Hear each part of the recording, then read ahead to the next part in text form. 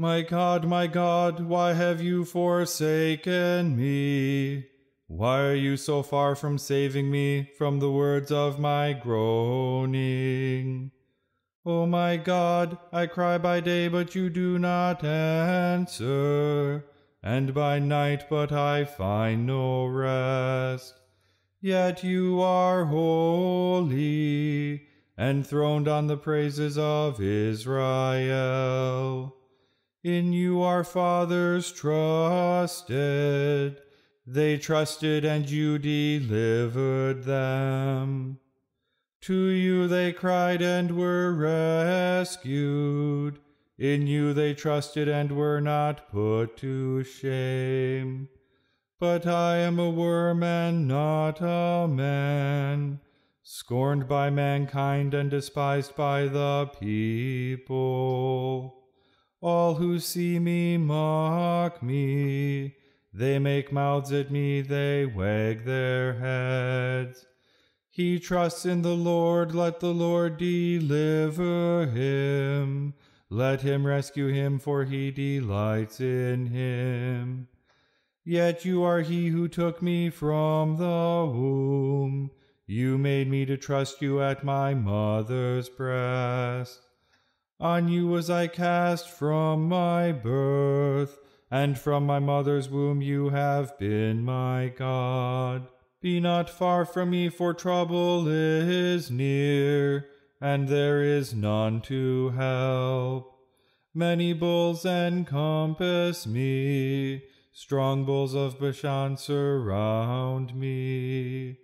They open wide their mouths at me, like a ravening and roaring lion. I am poured out like water, and all my bones are out of joint. My heart is like wax, it is melted within my breast. My strength is dried up like a potsherd, and my tongue sticks to my jaw. You lay me in the dust of death. For dogs encompass me, a company of evildoers encircles me. They have pierced my hands and feet. I can count all my bones they stare and gloat over me. They divide my garments among them, and for my clothing they cast lots. But you, O Lord, do not be far off. O you, my help, come quickly to my aid. Deliver my soul from the sword, my precious life from the power of the dog. Save me from the mouth of the lion. You have rescued me from the horns of the wild oxen. Lord Jesus, Lamb of the Father's own choosing, who offered yourself a bloody sacrifice for our sins on the place of skulls, receive our thanks for your love beyond all measure. Let your wounds be the solace of our hearts, and your merits the ornaments of our souls in life and death, that with your perfected saints on high we may forever sing your praise.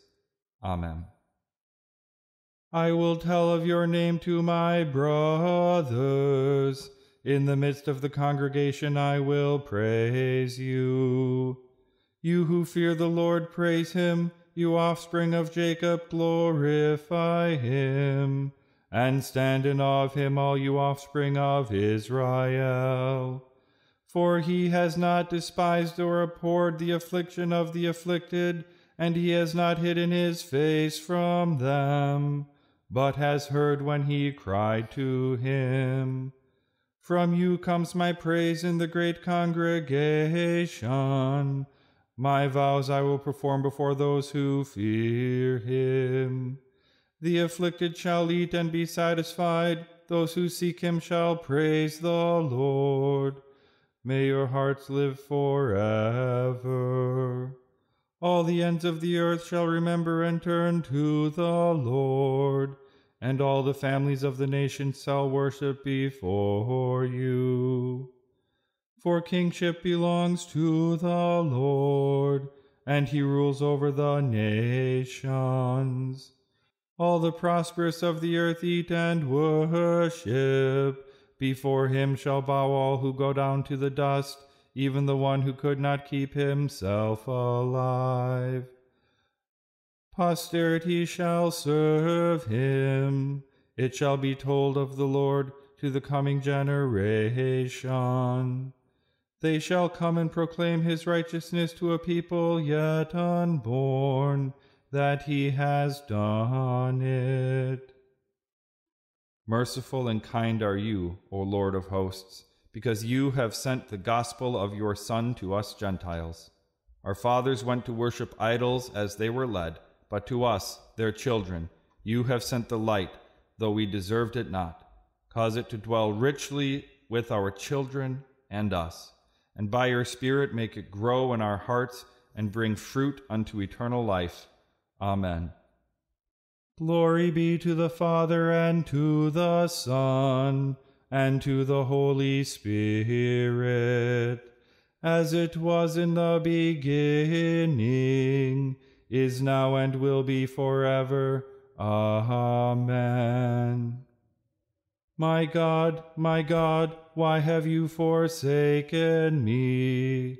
Why are you so far from saving me from the words of my groaning?